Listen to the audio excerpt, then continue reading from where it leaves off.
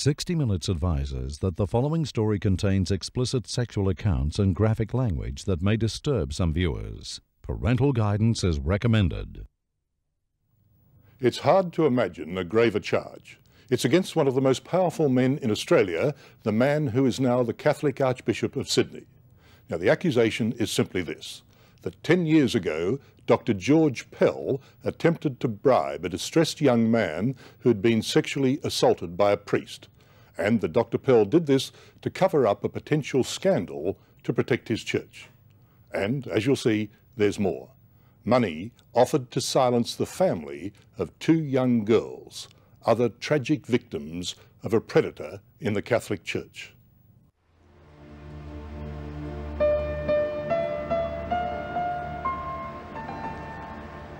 David Ridsdale grew up in Ballarat in country Victoria. He'd been born into a strong Catholic family. He was one of nine children. His uncle, Gerald Ridsdale, was a priest. When I grew up, he was always like the shining light and the, uh, certainly for my grandmother, he was the pinnacle of her Catholic achievement, I guess. He started to hang around more when I reached around the age of 11. He started to turn up and my mum was pregnant with my younger sister and he started to offer to assist by looking after me for weekends or taking me away. Father Gerald was hanging around because he was a pedophile. Father Gerald began assaulting David when David was 11 and the abuse lasted till he was 15. What forms did the assaults take? There were always Init- masturbation no, of you? No, no. Initially it was masturbation and it was kissing um, and then oral sex. Um, both. And I remember the first time we were in the bush somewhere and he tried to make me perform oral sex and I remember gag. I was gagging and stuff and he would get angry if I couldn't perform the way he wanted and he took me for driving lessons. That was the key. Did you want to learn to drive? Let me drive a car in a paddock and sure any 11 year old will tell you that's a pretty exciting thing. Sick as it may sound, the abuse would sometimes occur when priest was driving altar boy to the next town to say mass. Both as a man as a priest, he knew it was wrong. And what would be his demeanour? Um, at the time, a total blank. It wasn't. It was, you know, it was no words, no anything. It was an action, and then it would finish, and he would just drive on as if nothing had happened. And then we'd you mean that he'd then yeah, start the car? he'd start the car and go straight to the the church and say mass. And there. I mean, it's hard to imagine. well, it's it's hard to forget. He was probably the most notorious pedophile. He was shift from parish to parish. Whenever the church authorities were told of what he was up to, they seemed to just ignore it and uh, send him on the, his merry way to another parish and not uh, warn the parishioners. David Forster is a Melbourne lawyer who has represented nearly 100 victims of sexual abuse. He says Gerald Ridsdale had been abusing children for 15 years prior to latching on to David. Isn't someone culpable in circumstances like that? Someone's got to take responsibility for that sort of thing. Well, you'd hope that someone would take responsibility, but the fact is, there is a complete lack of ac- accountability for the, for this um, the the disastrous way the church has um, treated victims of sexual abuse. Another young priest who figured in David's childhood was George Pell. Pell is now Archbishop in Sydney. This is where you'd see Pell quite a bit. Often, yeah, he would swim laps here, and he was a big man, and kids would come and sort of, he was the man mountain, you'd jump on and he'd throw you off. And... He would have known my parents since before I was born. Um, So it was a family relationship. yeah, I mean, he didn't come round to the family or anything, but you'd see him at functions. I mean, I'd see him in the pool, I saw him quite a lot. And I've called him George from when I was a kid. I've never called him father. I never have. It's never. Father George. But no, never. No, he's George to me. He always was. And he knew you, David? How Oh, you going yeah, he today? knew I was. Yeah, yeah, definitely. And would greet me by name. And uh, Pell also knew well Uncle Gerald, David's abuser. They'd been to school together, seminary together, and as young priests, they'd shared a house. In the early 90s, David summoned the courage to tell the now Bishop George Pell what Father Ridsdale had done to him. He was one of the few individuals that I'd trusted as a young man, that I could think back on all the people I knew in the Catholic Church, and he's one of the few individuals that I thought I had a good rapport with and a trust relationship and a friendship. I knew he was the bishop in the area because through my work and suddenly realised that he was in a position of power within the church and I honestly thought I would find a way to deal with my own emotional problems without having to tell the world what had happened. And my big fear, the reason I hadn't gone earlier, was actually my grandparents, especially my grandmother, who, you know, I loved to bits. And I was terrified that if she found out, it would kill her. This is your grandmother, who is the mother of Gerald, yeah. Father Gerald Ridsdale. Yeah. Okay. I was terrified. And so eventually I chose a course of action. Okay. Now, you called Bishop Pell Yeah. out of the blue. Yeah. Tell me why, please. I was getting so confused and so psychologically um, agitated and depressed and angry. I had to deal with this issue. I and I believed at the time that he was the best way for me to go. Look, what help do you have? I actually, I think my terms were, what internal processes do the church have to help with situations like this? Because I'm beside myself and I'm terrified. Now, to the best of your memory, tell me what happened, please. You dialed up a number and then what? I dialed number, asked to speak to him. I said, hello, George, because that's what I call him. And he said, you know, hi, how are you? I said, look, this assault has happened to me. Um, I'm really beside myself. I need some assistance, some help. His reaction was so totally unexpected from... He didn't respond to anything I said. He sort of cut me off and um, was using all sorts of language and quite confusing. Now, did you tell him specifically? I told him specifically I'd been assaulted by my uncle, Gerald Ridsdale. Very specifically. Okay. Uh, and what did he say?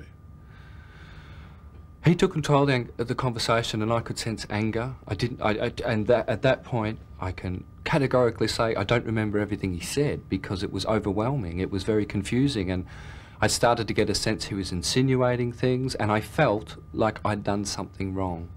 That you'd done something wrong? Yep. That I was at fault, and that I was causing him grief, and then all of a sudden, I just stopped and went, George, I'm totally lost. Can you please tell me what you were trying to say here? And his response to that was, I want to know what it will take to keep you quiet. Now, are there any doubts in your mind that those were the specific words that he used? Um, I want to know what it will take to keep you quiet. None at all. Not those last two phrases, no. Because it triggered... Ten years after the event, how can you be so sure? Because of what it triggered in me. It changed everything. Um, all of a sudden, the priorities got into place. My fear of my grandma had to be put aside. Despite the fact that this day I still believe that by becoming open with it, it actually did kill her. She became very ill not long after. It came out and was soon bedridden and died. Do you realise the gravity of what you're saying? I mean, 10 years after the event, you're saying that the man that's now the Archbishop of Sydney, effectively the head of the Catholic Church in Australia, 10 years ago was offering to shut you up about child sexual abuse. Yeah. You can't make a much more grave charge than that, I'm afraid. Yeah, well, you know, that is definitely what happened. You know, that was because he, that one phone conversation is the reason that I then went to the police and so on and everything that okay, happened afterwards. so continue with the phone conversation. You then put the direct question, what are you trying to say, or words to that effect? Yeah, And what was the response? there's, it was very definite. I want to know what it will take to keep you quiet. And you then said what? You probably have to beep it, but I said fuck you and fuck everything you stand for. And, And I hung up.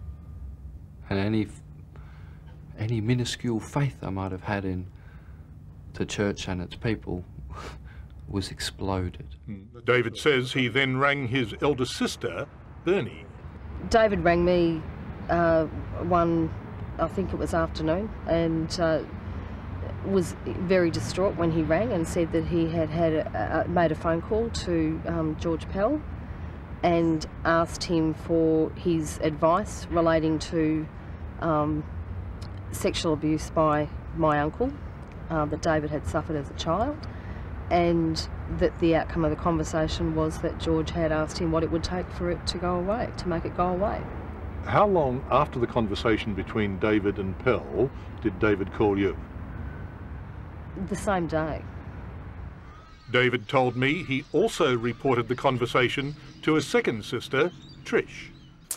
David told me that after he had told George uh, about the abuse, George asked him what it would take uh, to keep him silent. In fact, David's words to me were, the bastard tried to offer me a bribe. That same day, David says he rang the police. I told them I wanted to press charges against my uncle. Did you tell them about the conversation with Pell? I can't really remember. I don't. I was just. I was actually in tears talking to them, and it was when I mentioned my uncle's name that everything changed all of a sudden. Unbeknownst to David, at that same time, Victorian police were already investigating Father Gerald Ridsdale. The day after David made his statement, Ridsdale was charged over the sexual assault of David and a number of other boys. When he appeared in court in May 1993, George Pell was by his side. Ridsdale eventually did three months. Tell me the time frame. At that stage, had your conversation with Pell taken place? Oh, yeah. Yeah, well, months before. So at the time he's walking into the court... He was fully aware of what I'd said to him. He was fully aware of what the man alongside him had done to you, or anyway, your well, account. What I'd told him, yeah, absolutely. Fully aware. Not that long after these events, Father Ridsdale faced even more serious charges and was eventually sentenced to a minimum of 15 years. Stephen Woods was another victim of Ridsdale and two Christian brother teachers. Well, I was first abused by Brother Best. He was the principal of St. Alipius Primary School.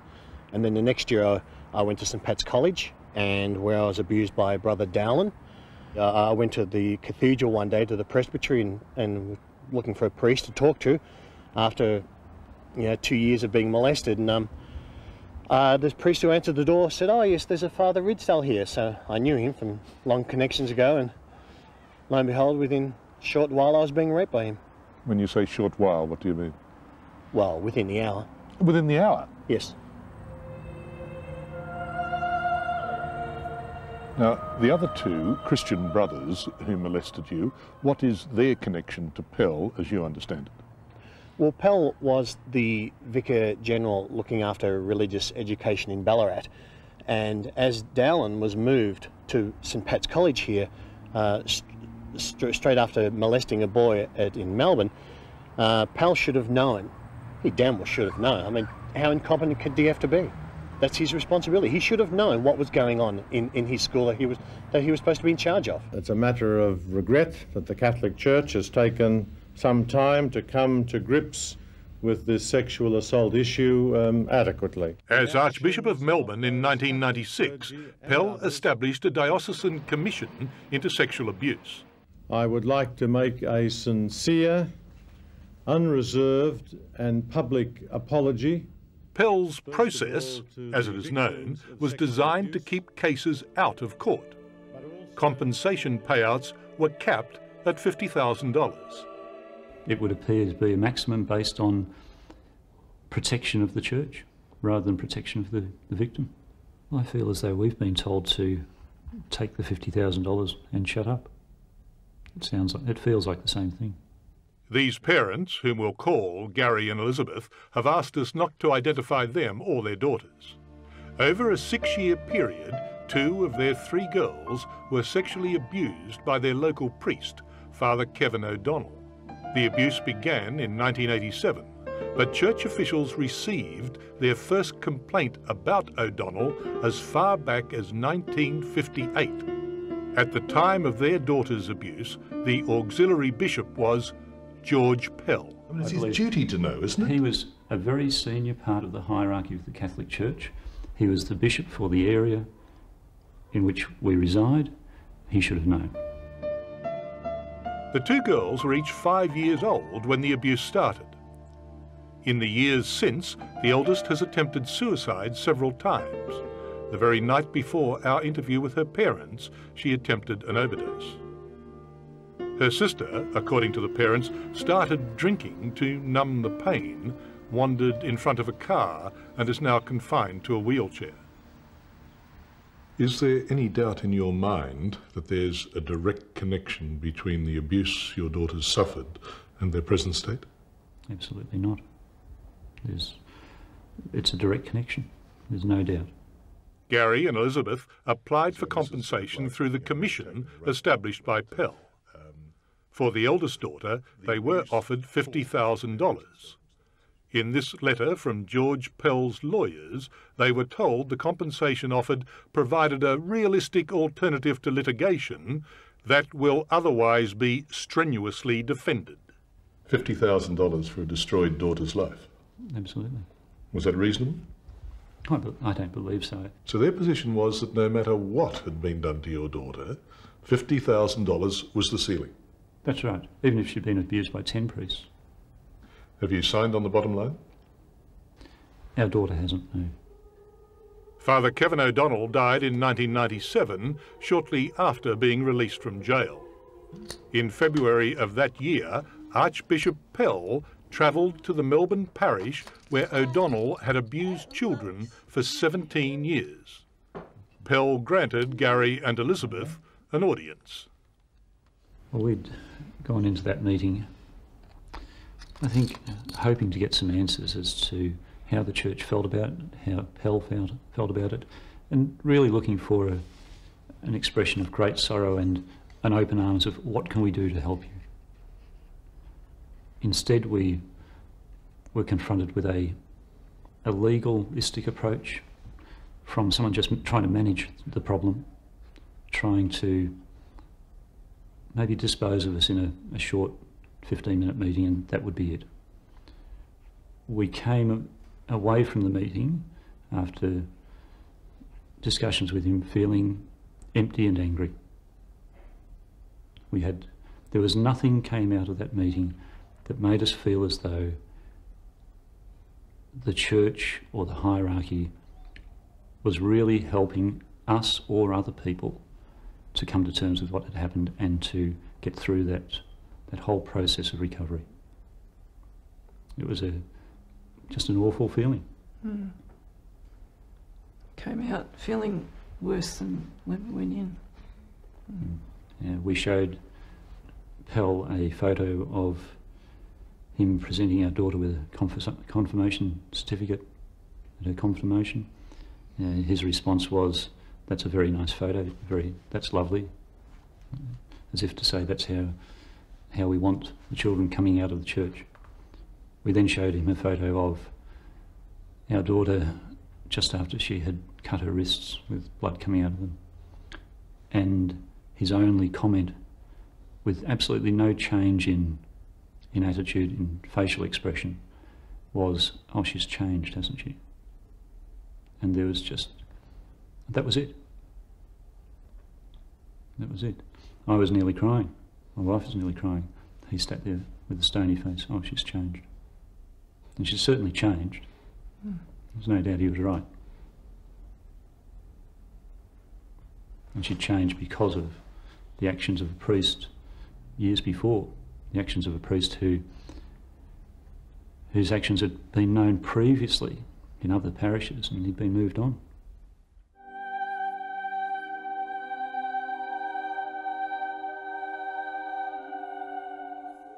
People are too afraid. They don't have the courage. And I want to see people have courage. And people like George Pell are in the position to change that. And, you know, he, what he did to me was wrong. Simple as that. He reacted like someone who was in damage control land already. Um, I don't know what was going on before I rang, but he was in damage control the minute I rang, he knows. And I would sit and look him in the eye right now and, uh, and say, I dare you to lie to my face. I dare you. So why should we believe you? George Pell knows the truth. George Pell in a moment.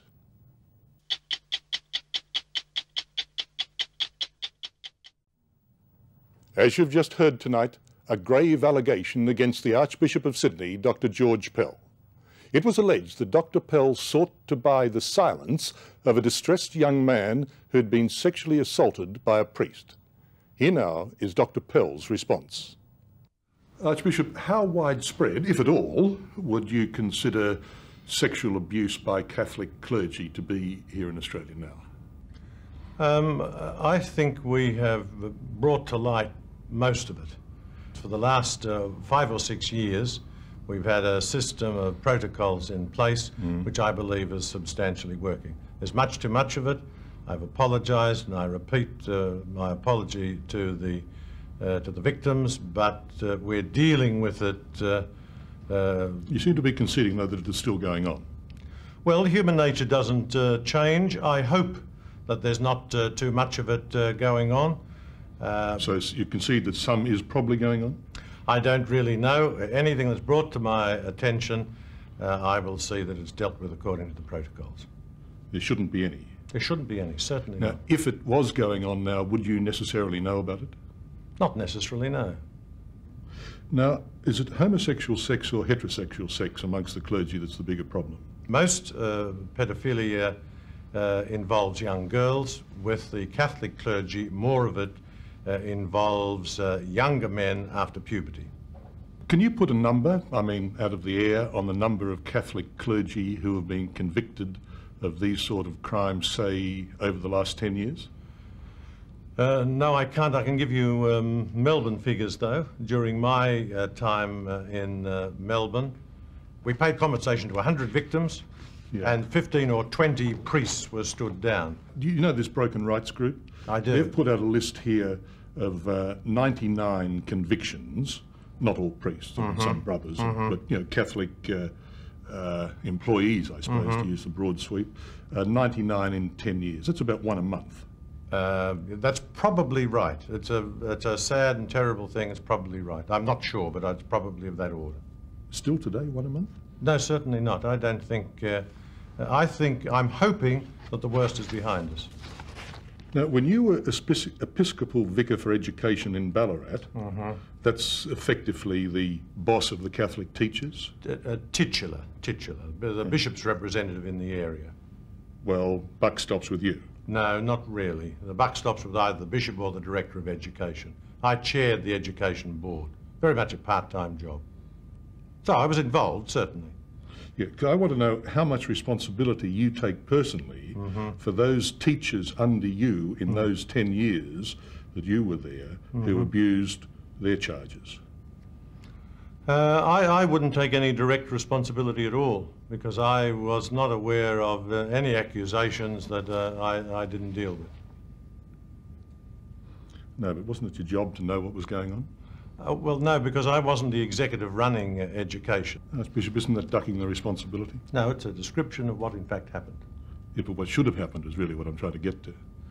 Well, what should have happened uh, is uh, uh, another problem. I, I don't apologise for any of the. I I do apologise. I don't want to uh, uh, pretend that uh, those things were always handled well, but that wasn't my bag. I was responsible for one area of church life, and I fulfilled my responsibilities. I didn't in the areas where I didn't have responsibilities. I uh, uh, I wasn't obliged to act. Tell me, you know Father Gerald Ridsdale?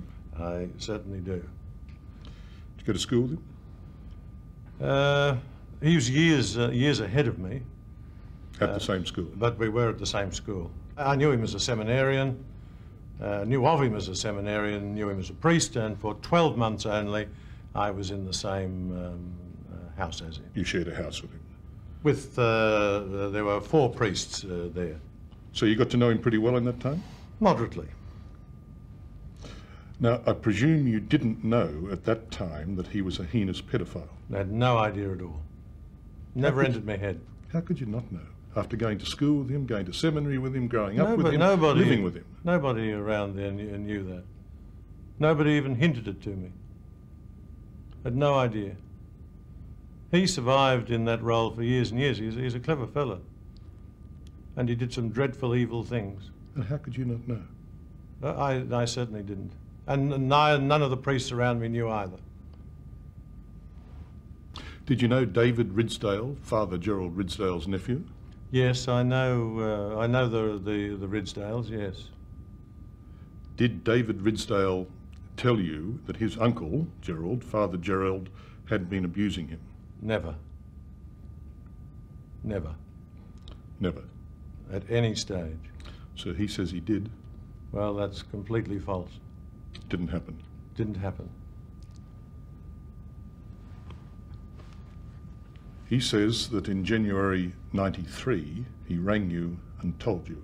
Oh, well, uh, that's 93. I thought you were talking about back in the 70s. Uh, I, Ridsdale would have been in jail by then, I think. He went to jail in 93, sir. Yeah, yeah. I, I certainly. I've spoken I, uh, with David off and on over the years. I've got on fairly well with him. Right. David says that he called you in January 93 and told you about it. Well, that's that's probably true. Uh, but I was well aware of uh, of uh, Ridsdale's crimes in general by '93. And that when he rang you in January 93, you offered him a bribe to shut up. I certainly offered nothing of the sort. Could I play you the tape, sir, of his accusations? Yeah, yeah, for sure. Please. Then all of a sudden, I just stopped and went, George, I'm totally lost. Can you please tell me what you were trying to say here? And his response to that was, I want to know what it will take to keep you quiet. Now, are there any doubts in your mind that those were the specific words that he used? Um, I want to know what it will take to keep you quiet. None at all. And you then said what? Uh, you probably have to beep it, but I said, fuck you and fuck everything you stand for. And I Okay. hung up. Now, Archbishop, those words there are, uh, are terrible. Did you use those words, I want to know what it would take to keep you quiet? No, I didn't. I've got a recollection that I spoke to David uh, a number of times. Uh, that he phoned me a number of times uh, on this uh, uh, on this uh, incident. I I think by that stage Ridsdale was in jail. No. He wasn't in jail in '93. No, he was in jail later in 93. We can date this, you see, because you have the police statement Yes, that yeah. David Ridsdale gave, Yes. which is purportedly on the same day that he spoke to you on the phone. Uh, uh, well, I can't ever remember him swearing at me. I have. Uh, I. Uh, Well, leave aside the swearing, sir. The, the really important words are, you said, so it is alleged, Yeah. I want to know what it would take to keep you quiet. No, I certainly would never have said that, and I didn't say that. I could quite imagine saying to him uh, what sort of uh, help might uh, we be able to offer him in terms of. Uh, I mean, I'm enormously sympathetic to uh, to uh, his plight, and uh, in '93, as an auxiliary bishop.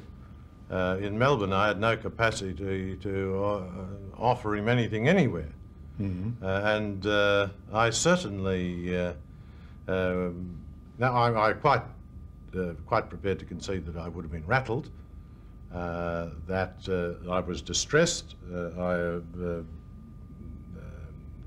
great sympathy towards him and, and uh, his family, and what happened to him was uh, dreadful. But his his recollection is uh, of, of some of the things he said is totally wrong. Uh, it would be very serious if, uh, if you had said that. It, yeah, it certainly would A, be. a resigning matter? I, I, I don't know about resigning, but certainly be serious and a, gra- and a grave error. Okay.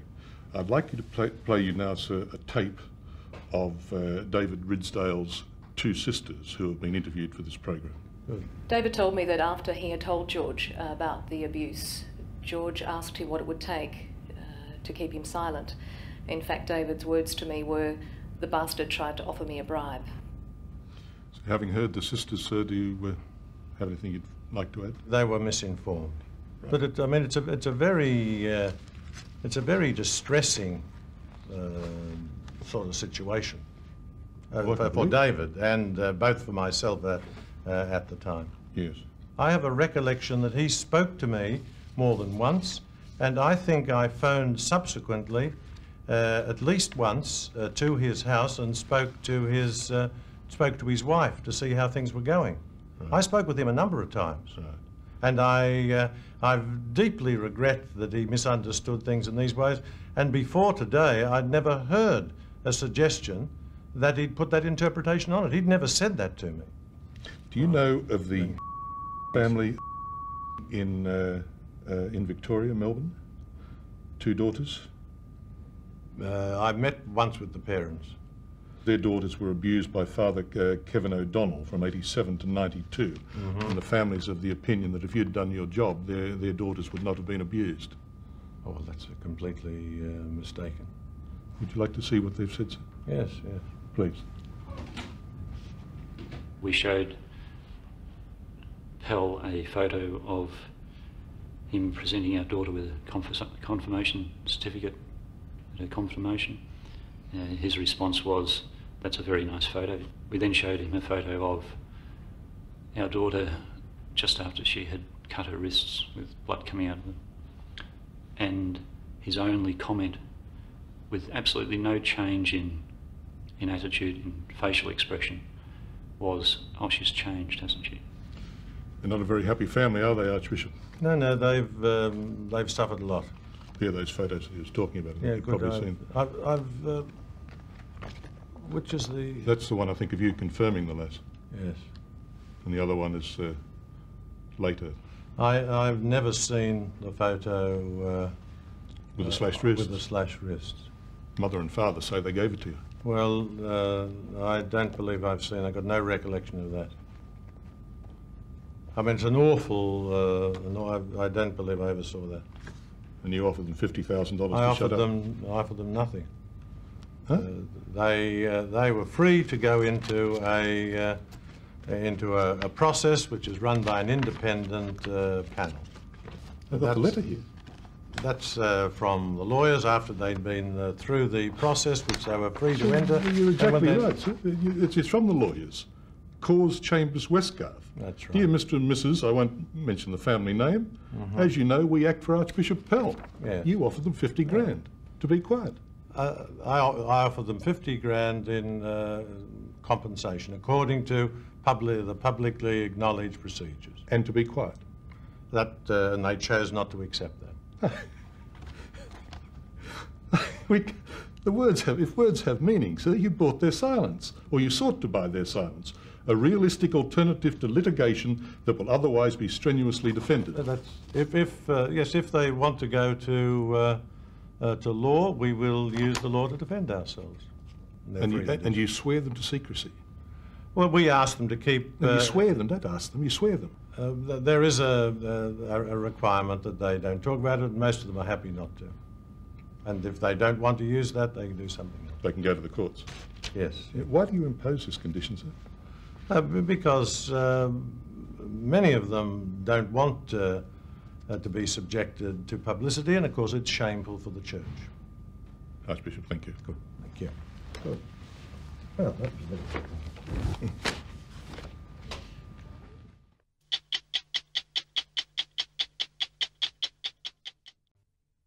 60 Minutes advises that the following story contains explicit sexual accounts that may disturb some viewers. Parental guidance is recommended.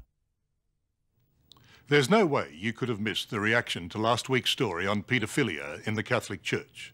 Last week, we broadcast the allegation that Archbishop Pell offered a bribe to keep quiet an episode of child sexual abuse. Well, the Archbishop denied that allegation. Tonight, you'll hear from a man who was a priest for 24 years and says it beggars belief that Archbishop Pell was unaware of the child sexual abuse occurring within his church. And tonight, we accuse the church of paying hush money, this time to a victim repeatedly raped by a Christian brother. Just last year, the victim was paid $50,000 to shut up about the crime.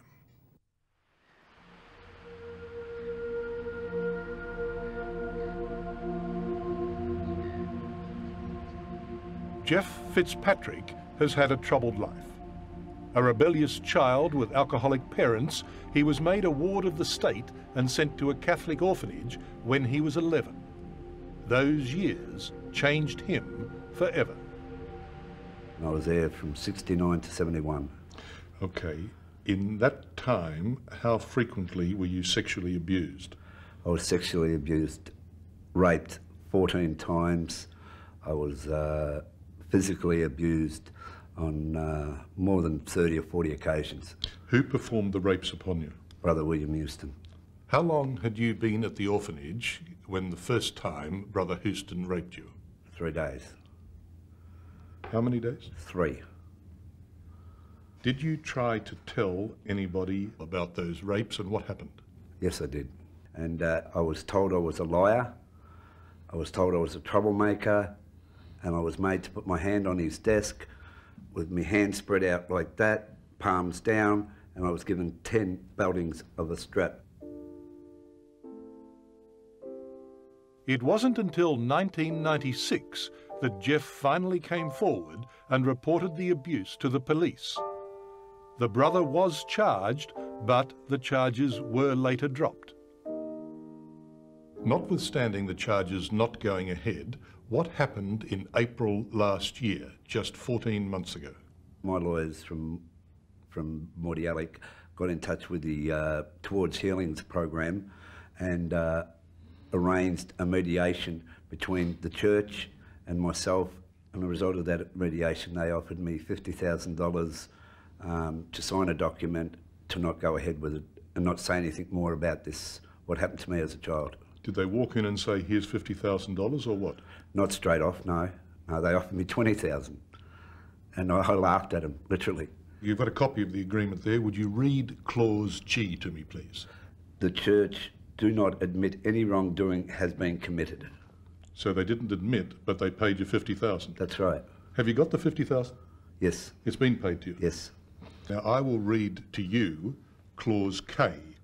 It is a condition of the settlement that you... As a condition of the payment, the church required Jeff to swear that he would not make any comment or any communication of any type to any person in relation to these matters. That he would not publish any writing relating to any incident, and that he would not make any comment in relation to any matters or any relevant incidents. That is, they gagged him. So you realise you're breaking that, uh, that agreement by talking to me now? Well, I'll give the church 40 cents and they can ring somebody who cares. clearly, I don't care. I mean, clearly, the uh, I just want to show what cover up the church are doing.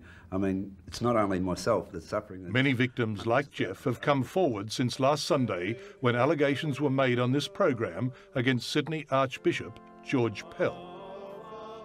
Now, did you tell him specifically I told him specifically I'd been assaulted by my uncle, Gerald Ridsdale. Very specifically.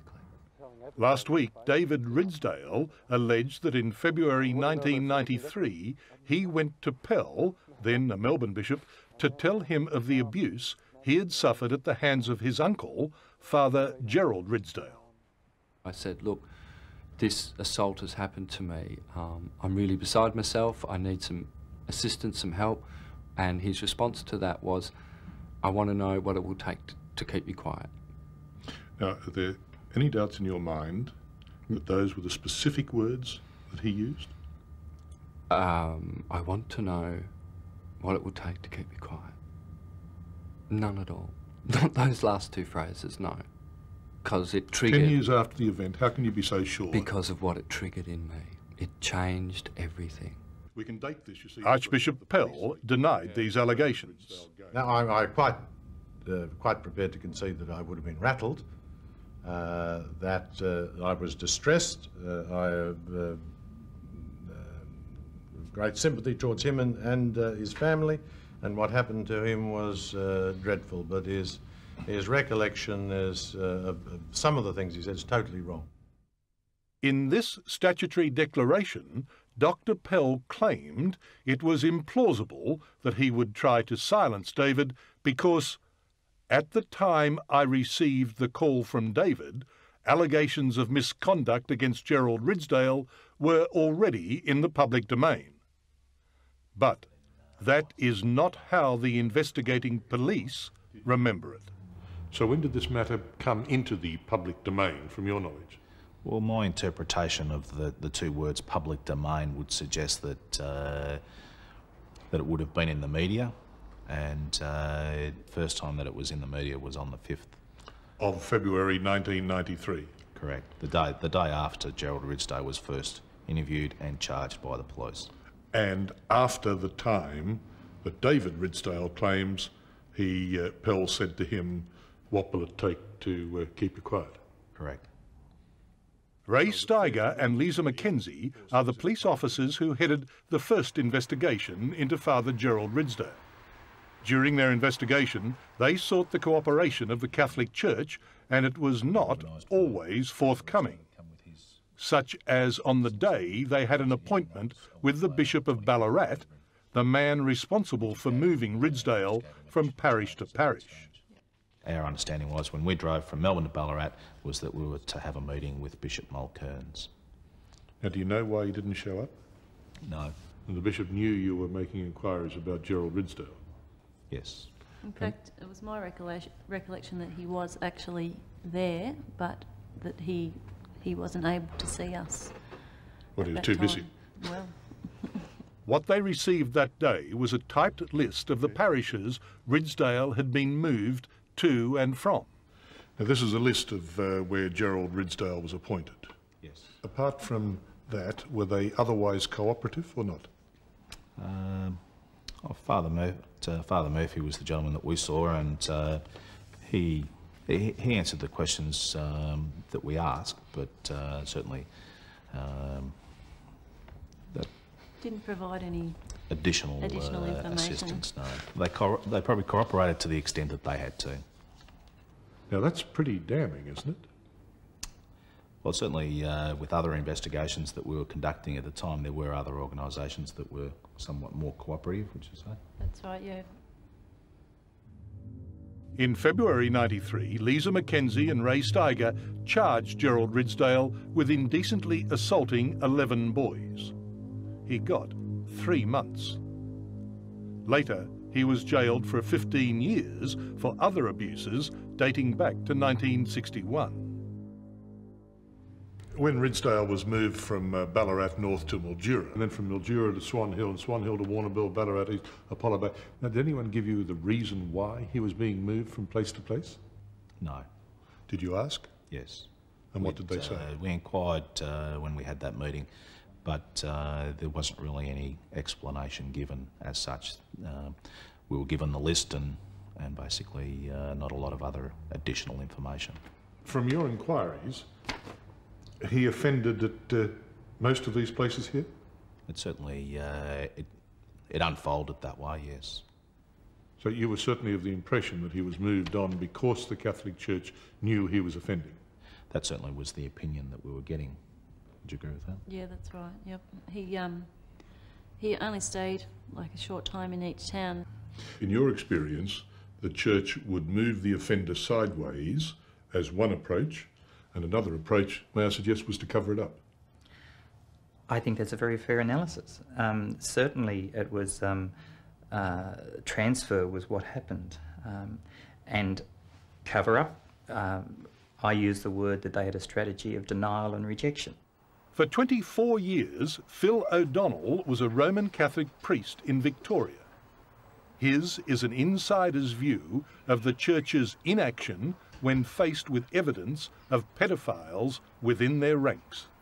It is horrifying to think of the number of young boys and girls who have been subsequently uh, abused because the strategy of the Church was to deny uh, the reality. It was to turn against the victim, it was to blame the victim, it was to make uh, those supporting the victim uncomfortable, all of that stuff. O'Donnell first alerted the church hierarchy about a particular abusing priest back in 1978.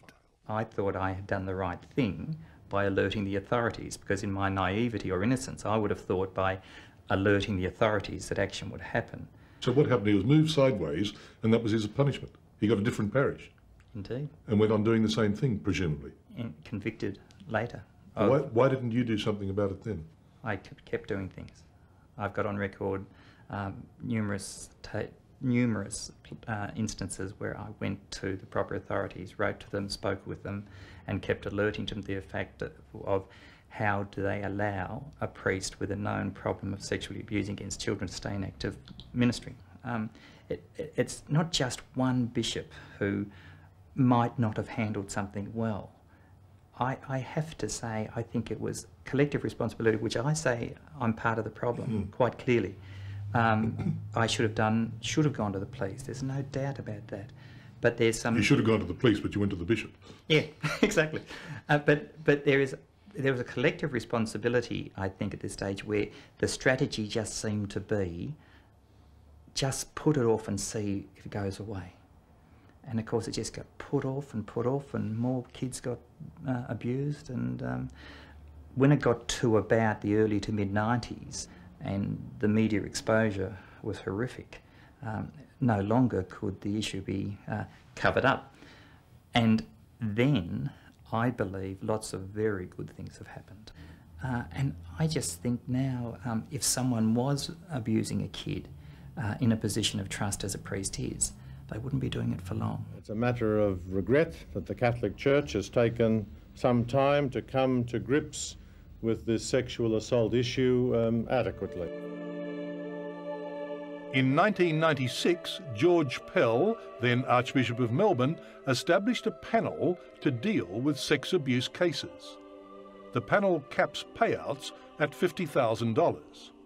It would appear to be a maximum based on protection of the church rather than protection of the, the victim. Gary and Elizabeth's two daughters were sexually abused by their local priest. They applied for compensation and have been offered $50,000 on account of their first daughter. They consider this money was offered to buy their silence. Pell's lawyers say the offer is a realistic alternative to litigation that will otherwise be strenuously defended. $50,000 for a destroyed daughter's life. Absolutely. Was that reasonable? I, I don't believe so. I feel as though we've been told to take the $50,000 and shut up. When victims still come forward today, the church is still applying the stratagem of running them through the courts, making yeah. it as difficult as possible. Yeah. When they try and, in a sense, take on the church, an individual's financial and legal resources compared to the, the might of the Catholic Church, finance and legal, and our experience has been that so many victims have tried to run the litigation, the civil uh, matters, and have just been worn down under the weight of financial, legal uh, might of the opposing party. David Goliath. Mm. There's um, and that's where again there's so much hurt with these people. At the time Gary and Elizabeth's daughters were being abused, the auxiliary bishop was George Pell. He was a very senior part of the hierarchy of the Catholic Church. He was the bishop for the area in which we reside. He should have known. What's your opinion as to whether the likes of Archbishop Pell would have known this sort of thing was going on? I think anyone in authority would have known it was going on. Anyone who was a bishop in the Catholic Church through the 70s and 80s and 90s had to be aware of the volume of victims who were coming forward telling their stories. It beggars belief that anybody in a position of authority through the 70s, 80s, and 90s was not aware of this as a very major crisis in the Catholic Church. The family of some of the victims has said to me that if the likes of Pell had done his job, then their daughters would not have been abused. Mm. If Pell and let's name how many others do you want to name? Two days ago, I took Jeff Fitzpatrick to the Christian Brothers establishment where the Christian brother he alleges had repeatedly raped him still serves. Jeff wanted me to ask the brother for an apology. Brother Houston, how do you do? Richard Carleton's my name from 60 Minutes Television, sir. Excuse me. Could you tell me, do you, do you feel you have an apology to offer to, this, to this, gentleman? Remember St Augustine's? 1969? No, no, no, please, you remember? Please, please, please. I do. Brother, thank you. Please leave the premises as you have been requested.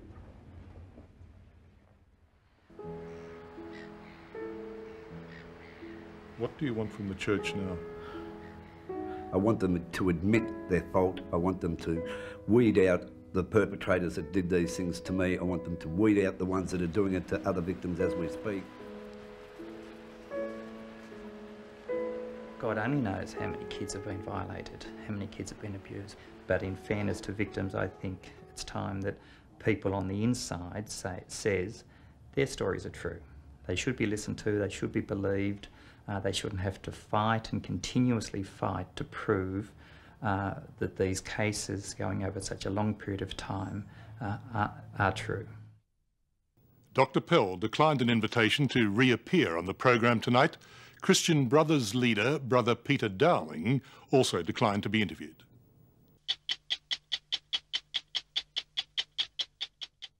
Hello, I'm Liz Hayes. Thanks for watching. To keep up with the latest from 60 Minutes Australia, make sure you subscribe to our channel. You can also download the 9Now app for full episodes and other exclusive 60 Minutes content.